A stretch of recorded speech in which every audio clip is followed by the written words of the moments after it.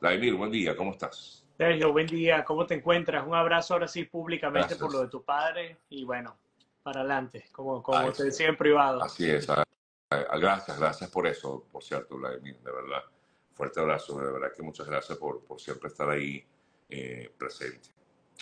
Bueno, Vladi, este, vamos a hablar de, de- quedan 40 días. La semana pasada hablábamos que faltaba un poco, un poco más de un mes y debo eh, confesarte que, bueno, muchas personas decían, pero ¿y qué le pasa a Vladimir? ¿Por qué está tan pesimista? ¿Por qué él eh, no ve esto con buenos ojos? Es un, un tema del cual hemos hablado siempre y yo siempre respondo, lo que pasa es que Vladimir ve la situación muy, de manera muy realista. Claro que yo sé que él quiere que las cosas cambien, ¿o no, Vladimir? Totalmente. De hecho, el, el- ese pesimismo se ha ido reduciendo, eh, pero siempre uno tiene que traer la evidencia, que es lo que siempre les he hablado, ¿no? Eh, si vemos cómo, a ver, la interpretación que yo le doy a lo que ha ocurrido en el último mes ha sido ver un niñito malcriado, y ese niñito malcriado del chavismo en Venezuela, en, en las manos de sus propios líderes, eh, quitándole los juguetes a los amiguitos que viven en el país. ¿A dónde voy? El ver cómo detienen a jóvenes que están apenas na- creciendo, que no tienen pero ni la más mínima malicia, el, el perseguir a aquellos eh, que apoyan, ni siquiera que apoyan, que reciben a la oposición. Es una cosa, pero que peor que las historias de Kiko cuando el chavo del 8, ¿no? Y perdónenme que, que baje tanto el discurso, un tema tan plano, pero es que así lo veo, ver cómo han fiscalizado este pequeño hotel de Tucupita en el Tamacuro, un hotel que no te debe facturar, pero ni 10 mil dólares al, al, al año, por decir algo. Eh, ver cómo, cómo atacan a este eh, conductor de esta curiara y le quitándole, pidiéndole los papeles de- de- del motor. Eh, en conclusión, yo lo que veo es que esto- esta gente sí está desesperada, definitivamente están desesperados. Eh, veo Maduro a un cabello tratando de buscar opciones, pero de una manera que, que ya se les está viendo la costura muy feamente y yo creo que esto les está costando con su propia masa, que cada vez es mucho más reducida. Así que mi pesimismo, Sergio, eh, no es pesimismo, es, ok, aunque esa es la realidad, hay otros elementos que son también reales, que son el control de la fuerza militar, el de la fuerza jurídica, el de la fuerza electoral, y Claro. bueno, ante eso hay que luchar. No, está bien, y además que hay que verlo así, como una óptica bien, eh, digamos, lo más objetiva posible y no dejarse llevar por las pasiones. Por supuesto que todos queremos, todos queremos ver un cambio en el país, pero también hay que verlo con cautela y no pensar en triunfalismos, como de hecho en algún momento lo ha comentado la propia María Corina Machado, ¿no? Así es. Pero bueno, siempre vienen las críticas y los comentarios, es inevitable, pero es importante verlo también. Todos queremos, e insisto, un cambio en el país, un cambio político. Pero me llama la atención esto que comentas, Vladimir, efectivamente eh, sientes que el régimen sí tiene un nivel de desesperación importante, sobre todo cuando comete este tipo de errores, porque son errores que le cuestan, le pueden costar más votos todavía. El de tener, a, como bien decías, estos jovencitos que apenas están naciendo en del política. prácticamente. Exacto, 18, 19 Sí. años. O Sí. sea, eh, detenerlos por hacer política, porque ni siquiera están haciendo política, son muchachos que están en la organización o en la parte de Exacto, ni comunicación. siquiera son, son, son las caras frontales, ¿no? Son, son equipos de soporte, son activistas, como lo, seguramente en algún momento pudimos haberlo sido tú y yo. Pero Sergio, sí, para mí es inédito ver la desesperación de esta gente. En serio te lo digo. Para mí, eh, yo, la, la vez en la que yo los vi más descolocados fue cuando el movimiento estudiantil del 2006 se activó, para mí. Pero esta vez totalmente Sí. distinto. Esta vez yo veo una desesperación total. Están ver a un Maduro aparecer en Barinas, pegando gritos, pidiendo que les asfalten las calles, como si eso va a resolver el problema de fondo, que es que los tipos han gobernado por 25 años y pues destruyeron todo el país. Ver un Maduro tratar de hacer ver como que está exigiendo que se normalice el problema del suministro de la gasolina en un país como el venezolano, como Venezuela, donde nadie en el extranjero entiende cómo, pues, cómo es posible que un venezolano no tenga cómo echar gasolina. Es una cosa que no hay manera de entender. Y cuando van al tema del, del, fulano bloqueo, recordemos otra vez que el bloqueo viene del 2019. Y aquí voy a rescatar una frase que vi de una entrevista que le hicieron Eduardo Fernández, que me encantó muchísimo. Y el tipo decía, mira, es que a mí lo que me, lo que me llama la atención es el pueblo chavista, porque queda muy, muy, muy pequeñito. Normalmente es un pueblo eh, que ha sido limitado a cuatro paredes, que ha crecido en chavismo. Y vamos a hablar de eso porque ahora vamos a comparar a esa migración que está saliendo ahora de Venezuela y lo que está pasando aquí en Estados Unidos con la migración, que también tiene que ver con ese tema. Pero eh, Eduardo Rodríguez decía, Eduardo Fernández, perdón, decía, fíjate lo siguiente. Cuando la gran desgracia en Venezuela fue eliminar la, la meritocracia en la industria petrolera.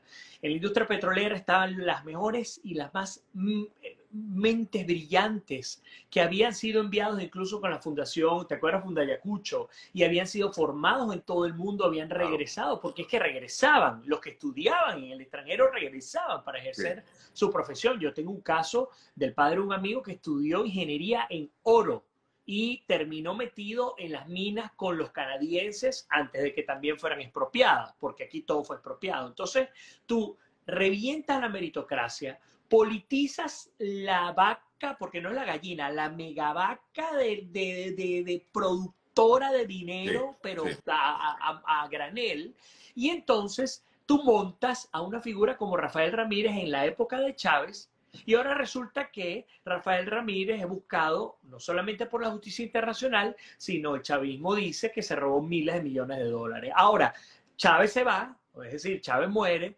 Ramírez se escapa y aparece Tarek El Aizami con Maduro.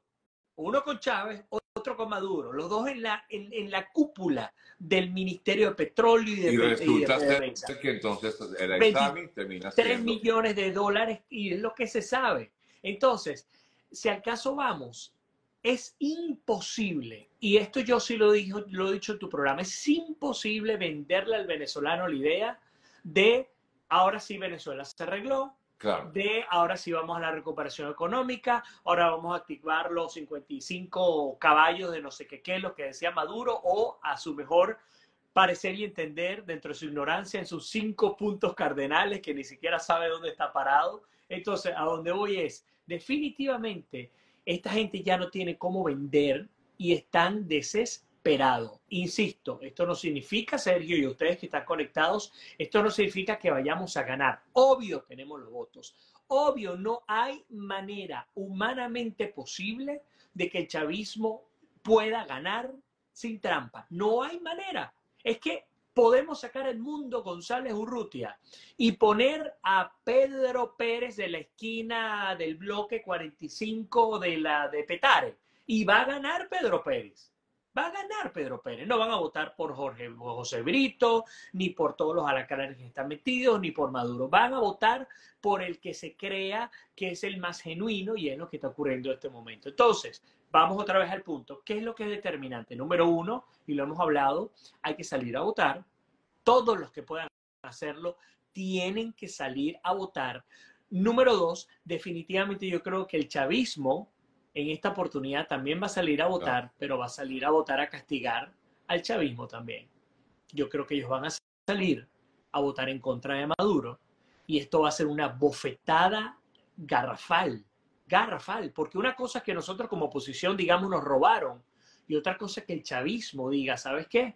Estos tipos definitivamente eh, nos están robando las elecciones. Por Eh, eh, es difícil, pero a ver, no sé, ¿cómo, ¿cómo visualizaríamos, supongamos que ocurre esto y que efectivamente la oposición gana esta elección? ¿Cómo visualizaríamos, vamos a ponernos así como un poquito especulativos, el 29 de julio?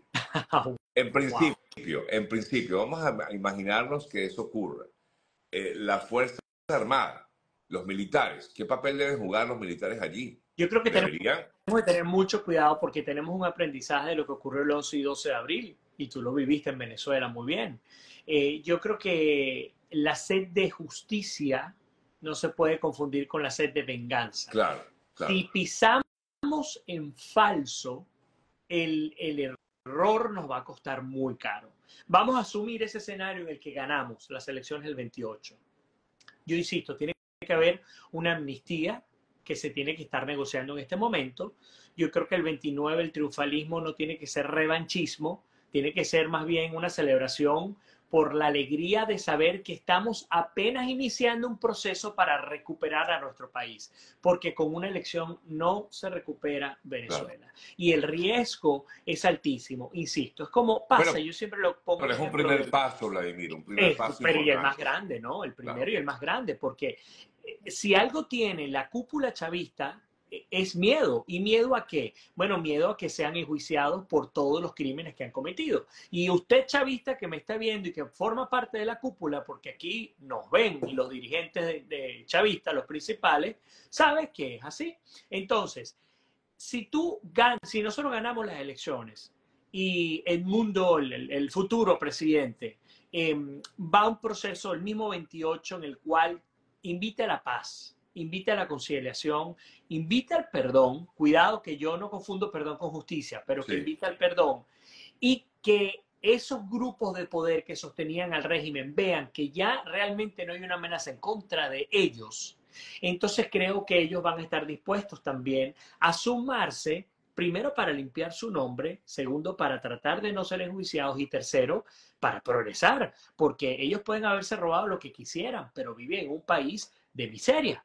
Es la realidad, vive en un país de miseria. Entonces, eso es lo que creo que debe pasar. Obvio, la alegría no me imagino cómo será, pero aquí tenemos que estar preparados y aquí yo creo que María Corina ha manejado las cosas muy inteligentemente. Llegará el momento en que tenemos que prepararnos no solamente para la alegría, sino para pensar cuál es el plan B en el caso de que no ganemos también, porque creo que el país ahora sí se está enrumbando hacia un camino de recuperación y ese camino pudiera comenzar el 28, pero para muchos comenzó mucho antes con lo que está ocurriendo hoy en día, la depuración de los poderes políticos, de los, de los partidos políticos, y podría continuar y desembocarse en cualquier otro tipo de elección. Preguntan eh, aquí, entre otras cosas, Vladimir, eh, ¿existiría la posibilidad de que eh, inhabiliten o, no sé, le, le quiten la opción a Edmundo a pocos días del proceso electoral? Todo es posible. Todo es posible. Todo es posible en dictadura. No hay manera de predecir las sorpresas que nos vayan a manejar. Sin embargo, es di- difícil, ¿saben? Es difícil. Claro. eh, Sería ya, sería ya como quien dice quitarse la careta completamente. bueno, pero no hace No, no falta. les Yo siempre he dicho, O sea, la careta no les importa a ellos, ¿no? Ah, Claro. Yo eh, hace esta semana con el cuento de, de estos ritos religiosos que está haciendo Maduro con todos los tipos de religiones habidos y por haber, hay un, hay un, Bueno, me encantó. un influencer. Ese, ese reel que hizo Jesús González Sevilla, quien conozco, Sí, que es verdad, los lunes es católico, Sí, sí. los martes es musulmán, los miércoles es santero, los jueves es lo evangélico. O sea, interesante, a lo ajá. interesante no solamente fue eso, lo interesante fue dos cosas que se vieron allí. Uno, los zapatos de Nicolásito, no sé si tú los viste, ¿no? Y me da mucha risa porque a mí me encantaría, yo desearía, ojalá y el pueblo chavista pueda ver esos videos. Los zapatos de Nicolásito, creo que son los Louis Vuitton, que cuestan casi 1.700 dólares, en un país donde el bloqueo está ahorcando a la gente según el chavismo. El reloj de Maduro casi 50 mil dólares. Y por supuesto ellos dirán, bueno, es que nuestra lucha lo amerita, pero bueno, tú no eres el primer revolucionario que atacaste en contra de la, por ejemplo, la clase media, que nos destruiste a pedazos, porque a pedazos lo hiciste. Sí, sí. A los dueños de los medios de producción los, los reventaste también. Entonces esa es una realidad. Ahora, volviendo al punto, ¿qué estamos viendo ahora? Vemos a un Diosdado Cabello haciendo campañas con mucha fuerza, acompañado de la cava en algunos de los escenarios. Vemos a un Maduro haciendo unas campañas que lo que dan es vergüenza porque desgraciadamente para Maduro la gente ya no tiene miedo. El miedo es parte de un, de un sistema de control social. Uno de ellos es darte la comida, que es control social, y otro es el miedo. ¿Qué te decían? Te vamos a ubicar, como hace el, el G2 cubano, te, vamos, vamos a saber por quién vas a votar. Toda esa cantidad de mentiras ya la gente no se la come. Entonces la gente está agarrando sus celulares y está grabando las escuetas escuálidas, que esa palabra la inventaron ellos, las escuálidas y, y, y, y espichadas eh, manifestaciones, vergonzosas manifestaciones, donde incluso la gente en los vecindarios se están atreviendo a pegarle gritos a los tres o cuatro gatos que están apoyando al chavismo. Nadie en su sano juicio en Venezuela está apoyando al chavismo. Entonces, vamos a la conclusión de cara a lo de Venezuela. Otra vez, hay que votar masivamente, definitivamente hay que salir a votar masivamente. Los que van a decidir, y qué bueno que sea así, van a ser los venezolanos que están dentro de Venezuela, Así que se van a llevar el mérito, el 100% del mérito. Nosotros afuera, ojalá y hubiésemos podido votar, no nos dejaron escribir, ustedes conocen las razones. Qué bueno que esto quede en manos de nuestros hermanos venezolanos dentro del país. Tercero, tenemos que organizarnos porque ya otra vez ni Tren de Aragua, ni Círculo Bolivariano, todos esos tipos están atormentando el resto del continente, están buscando plata afuera, ya la amenaza no es igual que antes. Eso quiere decir que nosotros tenemos mayor capacidad para organizarnos y defender el voto. el control de la violencia ya no es igual ya no es igual. Así que es una gran oportunidad para nosotros y ese margen de error que yo decía que era casi imposible, para mí está subiendo y subiendo y subiendo y subiendo y subiendo y cada vez veo más posible una victoria. No estoy asegurándola de ninguna manera, pero cada vez ese numerito va subiendo y me va sacando una sonrisa como la que te está sacando a ti. Lo que pasa es que yo sé que tú no quieres decir, claro, por supuesto, es, eh, eh, yo lo comprendo y, la vez pasada, el viernes, el miércoles pasado, cuando conversamos, sí, mucha gente nos, nos decía o me comentaba, porque lo leía en los comentarios, me decía, pero bueno, pero ¿por qué tenemos que buscar? Es verdad, hay que, hay que aupar a las personas y eso es parte de nuestra intención también, ¿no? Eh, impulsar a la gente a salir a votar, impulsar, y bueno, yo sí tengo esperanzas, pero uno tampoco puede quedarse como que, ay, ganamos, no, no, no. Pero ¿sabes qué es lo interesante, Sergio? Perdóname que te ataje. No, adelante, adelante. Lo interesante es que la única manera que ganemos, a diferencia de lo que hemos pensado antes, es que todos trabajemos y empujemos para ganar. Fíjate la diferencia. Antes era la figura mesiánica, como siempre lo decía. Apareció Enrique Capriles, apareció Leopoldo López, apareció Guaidó. Ahora no. Ahora tenemos una mujer que ella la inhabilitaron, no se pudo, ella decidió ser estadista, llevó a la opción, ¿te acuerdas que yo te hablaba de opción A, B, C, D, Z? Tenía todas las opciones montadas, se montó con la B, fue con y no funcionó. Ahí estaba el candidato Tapa, que era el mundo, lo pasaron por debajo de la mesa. Yo te decía en aquel análisis ese primer día, eh, te decía, qué interesante que están atacando a Manuel Rosales, pero no al mundo, al, mundo González de la MUD. Ya yo veía que algo por allí podía estar pasando y se dio. A donde voy aquí en este momento, señoras y señores, la victoria está en nuestras manos si todos participamos, no si María Corina hace A o B o si el mundo hace A o B. Somos todos los que tenemos que hacerlo.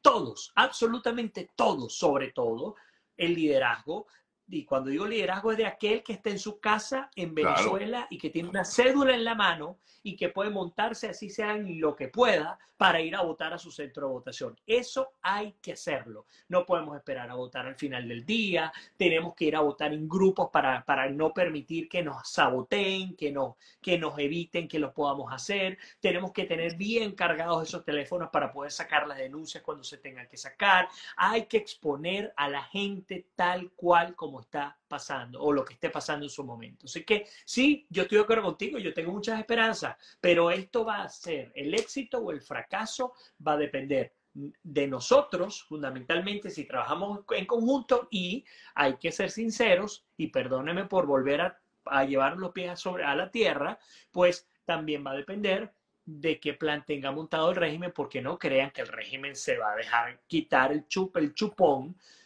si ya vemos lo que viene haciendo todos estos meses, ¿ustedes creen que va a ser tan fácil? El Ellos van a tratar de hacer algo. Sí, sí, sí, sí. Eh, por, supuesto que sí. Eh, y, no van a quedarse de brazos cruzados y van a buscar las mil y una maneras de, evitar que, que, se dé ese triunfo y por eso continúan allí y quizás por ese mismo tema, lo que hablábamos al principio, la desesperación de detener a cualquiera que esté haciendo algo por y posiblemente vamos a ver algo también el propio 28 de ah. julio, porque ya ayer la plataforma unitaria decía que sí, que hay por lo menos un 92% de personas que ya están eh, siendo, eh, ya están como testigos pues, de, de Oh, lo qué que, que también Qué bueno, qué bueno, no tenía esa cifra. Sí. Qué buena noticia. Ellos hablan de un 92%, que tienen un 92% de, de los testigos en, eh, eh, para el 28 de julio. Y eso es importante, porque efectivamente no solamente ir a votar, sino quedarse en la mesa, como bien ha comentado eh, en parte de lo que ha sido su campaña María Corina, los comanditos y estos grupos que van a estar allí vigilantes del voto, que cada uno sea un vigilante del voto. y el voto castigo va a ocurrir en Venezuela. Señores, va a ocurrir en Venezuela. El chavismo se va a sumar a la oposición y van a votar en contra de Maduro, eso escríbanlo. Se van al pueblito de Curiapo, en la desembocadura del delta del Orinoco, llegando a Guyana. Esa gente que toda su vida fue chavista, esa gente va a votar en contra del chavismo. Se acabó Misión Barrio Dentro, se acabó, se acabó Misión Robinson, dejaron de llegar a Caja Club, dejó de llegar el combustible, la gente muriéndose de paludismo, el populismo robándoles lo- los recursos que tienen, el narcotráfico pasando toneladas de por el delta del Orinoco, la destrucción del Orinoco con la, con la explotación eh, acuífera, con el tema del, del, del, del oro, todas las razones. Antes, antes el, el control, la bota militar y el control social era tan extremo que no había manera. En todos esos pueblos terminaba ganando, pero una, con cifras que eran estadísticamente imposibles. Algo así como eh, Chávez o Maduro ganaron con 99.8%. Es una cosa estadísticamente imposible. Pero bueno, ellos hacían lo que les daba la gana. Ahora no, porque si algo tiene el chavista, y lo tuvo antes y lo tiene ahora, es la rabia Claro. porque siempre ha habido injusticia social. Y el que creyó en Chávez quería que esa injusticia social se pagara, y yo lo entiendo completamente. Ahora, lo entiendo de nuevo cuando dice, oye, nos pasó un cuarto de siglo y lo que nos prometieron fue totalmente lo contrario, lo, que cumplieron fue totalmente eh, contrario a lo que nos prometieron. Claro. Le entregaron el país a unos iraníes, a unos chinos, a unos rusos, nadie sabe nada de ellos, el país nunca evolucionó, no construyeron una carretera más. Y yo siempre pongo el ejemplo, Sergio, perdóname estos, estos soliloquios que me lanzo, pero eh, mi papá siempre me decía, hablando de nuestros padres, siempre me decía, cuando íbamos en la carretera del Tigre, me decía, esta carretera la construyeron los americanos en los años 50, cuando comenzaron la explotación petrolera en Anzoátegui.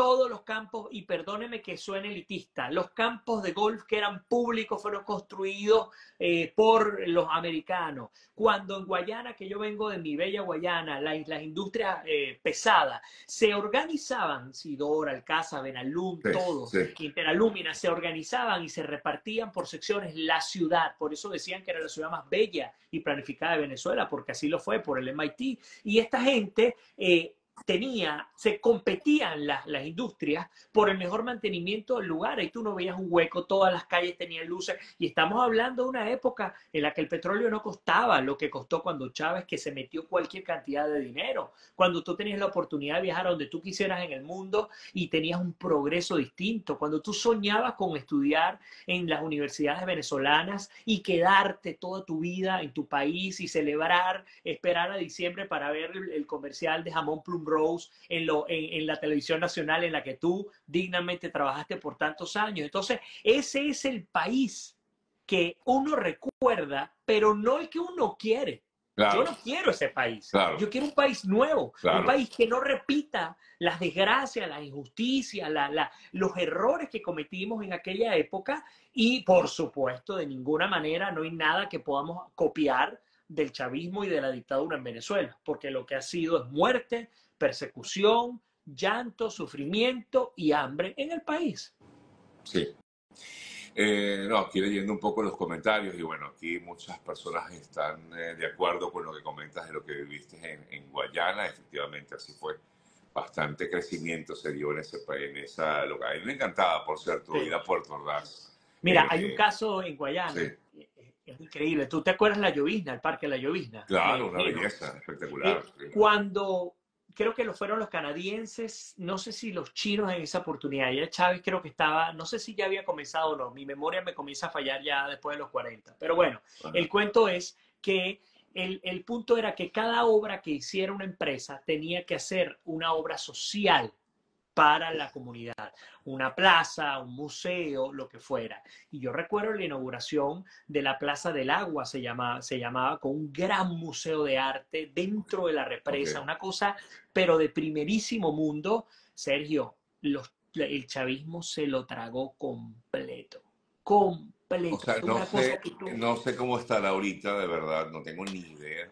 Yo, yo he visto imágenes y, y me da vergüenza. Pero Eso era algo que tú podías llevar hasta un alemán y se quedaba con la boca abierta. Ahora, eh, eh, yo sí te digo, claro, con este tema de, de, de, de este vuelco que dieron en Venezuela, del tema del Venezuela se arregló, eh, sí sé que han hecho muchos cambios en Caracas. O sea, por lo que me han comentado muchas personas que han ido y que han visto, han visitado, incluso el centro, inclusive el centro de Caracas, dicen que es otra cosa, que es una belleza, que provoca estar allí, que puedes estar hasta las hasta la noche. No, la delincuencia no sé. bajó, correcto. No sé cómo está, como bien comentas. eh, eh, Yo sí creo, Bueno. yo sí creo, yo te lo he dicho a ti, yo, yo y a ustedes eh, que, que nos han seguido durante tantos años. En este último año yo he insistido mucho en una Venezuela paralela, que a quien ha dejado la política a un lado y ha tomado la economía para sí. Yo sí creo que Venezuela ha avanzado económicamente y ese avance ha sido básicamente por el sector privado, por la como tú gente siempre que dices, quiere a pesar de lo del a pesar de, correcto, a pesar de lo han hecho. Entonces yo sí creo, insisto, que por eso es que el miedo a la bota militar y, al- y al- y al- y al- a la cajita clap se está acabando, Claro. porque la gente se está buscando maneras creativas de reinventarse. Finalmente nos estamos haciendo resilientes. Finalmente lo que hicimos fue resistir. Ahora estamos siendo resilientes. Entonces yo estoy de acuerdo contigo, sí. En Venezuela se están viendo cosas interesantísimas. Eh, tengo amigos que me dicen que eh, consigues bodegones por todos lados, consigues todas las charcuterías y lo- las mejores piezas que tú puedas probar en cualquier lugar en Estados Unidos y en Europa. Obvio, eso es para una masa muy pequeña, pero detrás de eso también hay mucho lavado de dinero, hay mucha, mucha blanqueamiento de capital, No, no, claro, hay sí, corrupción, sí, hay sí. droga y todo. Pero bueno, mira, eh, Miami se construyó en cierto modo así, Medellín en cierto modo así. Hay muchas, muchas ciudades, Panamá, la ciudad de Panamá se construyó en cierto modo así. Entonces, después avanzaron y bueno, ya son otra cosa. No estoy justificándolo, pero sí creo que definitivamente en Venezuela hay que entender que la política no puede regir nuestros destinos, tiene que ser definitivamente la economía y, el, y, el, y la independencia que tenemos que tener. Yo siempre pongo este ejemplo acá en Estados Unidos. Estados Unidos entra en procesos de recesión o de, o de inflación o de recuperación económica y la gente habla mucho de la Reserva Federal asumiendo que dependen de- del presidente de turno. Señores, la Reserva Federal es una institución privada donde básicamente cinco familias de los bancos más grandes del mundo y aquí de Estados Unidos deciden qué, cómo, cuándo y dónde se desarrolla la política fiscal en este país. No depende necesariamente ni del Ejecutivo ni de la Casa ni del, ni del, ni del Capitolio. Entonces, yo creo que mientras se reduzca más el Estado en su oportunidad, vamos a ser mucho más efectivos. Estamos viendo lo que está ocurriendo con Bukele, estamos viendo lo que está ocurriendo con Javier Milei, que por cierto le ganó en las encuestas a Bukele, está como número uno.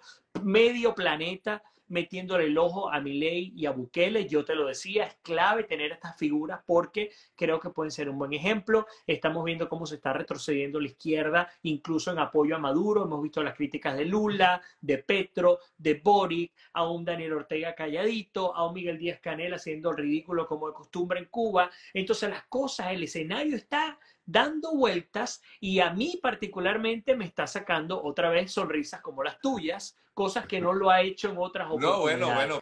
Por lo, por lo menos hemos cumplido nuestro objetivo de sacarte no solamente la sonrisa, sino la sonrisa del optimismo. Así Es es, del optimismo. Con los pies sobre la tierra, pero con optimismo, por supuesto. Pero, insisto, sin triunfalismo. Estamos acostumbrados, ¿ok? No, claro, y con mesura, Así con es. mesura, exactamente. Con mucha mesura. Así es. viendo cosas tranquilamente, pero sí, vamos, vamos eh, camino poco a poco. Bueno, seguiremos hablando de este tema, Vladimir, porque definitivamente es lo que está en el tapete. Queda un mes, poquito más, me- no, un poquito más todavía. Así que quedan unas cuantas semanas más. Ya la próxima semana es la última de junio y nos quedaría ya, sí, rapidísimo se nos va el tiempo. Entonces es impresionante cómo pues ya se acerca el momento de la verdad. Ya veremos qué ocurre. Gracias, Vladimir. Fuerte abrazo, como siempre. Y gracias Un, un nuevamente. fuerte abrazo para ti también, que Dios me los bendiga y feliz día. Amén, amén. amén. Vale, nos vemos. Gracias. Bye.